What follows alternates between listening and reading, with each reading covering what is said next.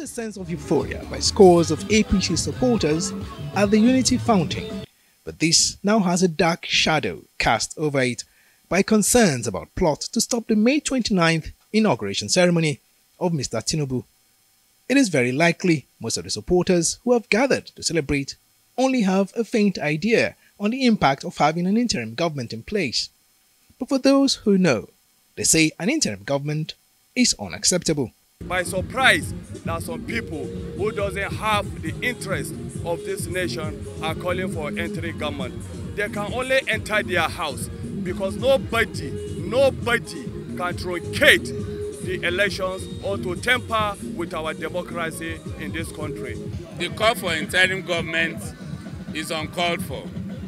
It is satanic, it is wicked. And that's why you see us here, you see this crowd that, uh, that is here to defend democracy, to defend the mandate freely given to the APC and also by extension President-elect Asiwaju Bola Ahmed Tinubu and also Senator Kashim Shettima. The tension around the presidential polls, they insist, is a needless waste of energy, as it is now time to rebuild a broken and divided country. We are also using the opportunity to speak to Nigerians, you know, particularly those who did not vote for Bola Ahmed Tinubu, to understand that the elections have now happened.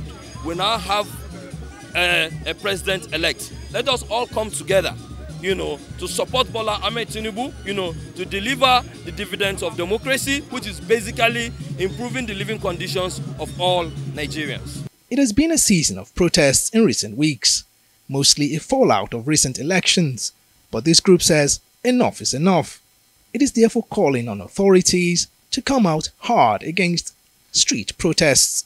Enough of these street protests and campaigns defacing the name of Nigeria. The international communities are watching and we as emerging leaders of this country, we no longer want anybody in this country to fan any form of amber of discord or disunity anymore because any attempt or attempted attempt forthwith we are going to invoke aluta wizardry on whosoever is involved.